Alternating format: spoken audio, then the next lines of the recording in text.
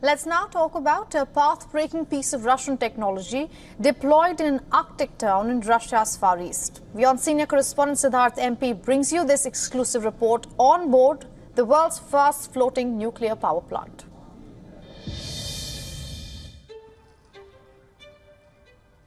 With its red and blue lines, this giant barge, placed in a remote Arctic town in Russia's Far East, might seem like any other ship.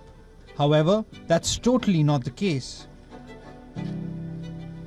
This floating vessel is a pioneering piece of technology which Russia believes can guarantee energy security in the remotest parts of the world.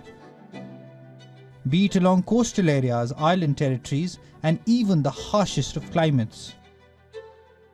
For several decades now, we've seen aircraft carriers and submarines that are powered and propelled by nuclear energy from their onboard nuclear reactors. But what we're standing on right now is the world's first floating nuclear power plant, which is in Russia. So what you're seeing behind us is the town of Pevek. The entire town of Pevek is not just powered, but also provided heat that is generated from this floating nuclear power plant, the only one in the world.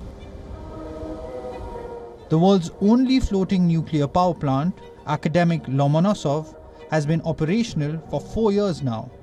It has proven its unique capability by delivering reliable and low-cost power supply in the harshest of Arctic conditions in the Russian Far East town of Pevek.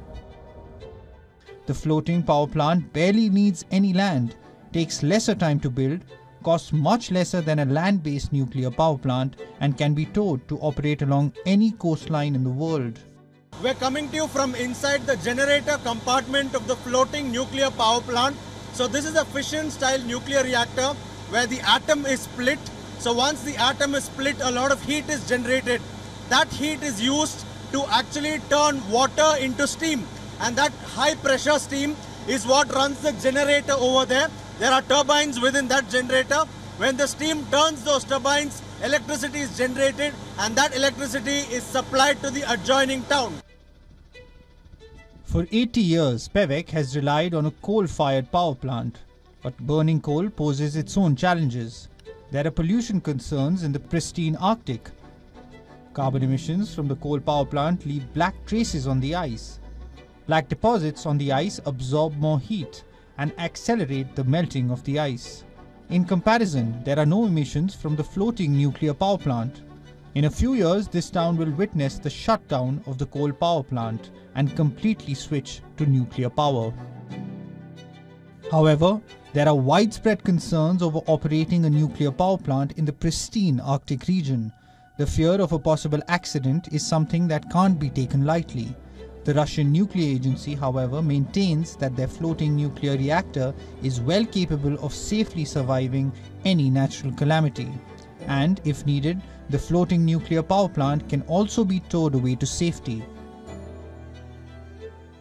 When it comes to nuclear power plants, there's always the safety question that's asked. This is, of course, the world's first floating nuclear power plant. But Russia's nuclear power agency, Rosatom, says that the safety features here are unmatched. Be it natural calamities such as tsunamis, tornadoes, or earthquakes, or even other natural calamities, this one, they say, is built to withstand. In addition to that, they say that one of the highest safety features built in and designed in this reactor is the fact that even if a medium-sized Kamov helicopter, Russian helicopter, actually crashes onto this reactor from a height of 50 50 meters, this barge and this entire reactor would remain safe and the people and the environment here would not be contaminated in any way and the reactor can continue to operate. With video on Ajit from Pevek into the Russian Far East, Siddharth MP, WION, World is One.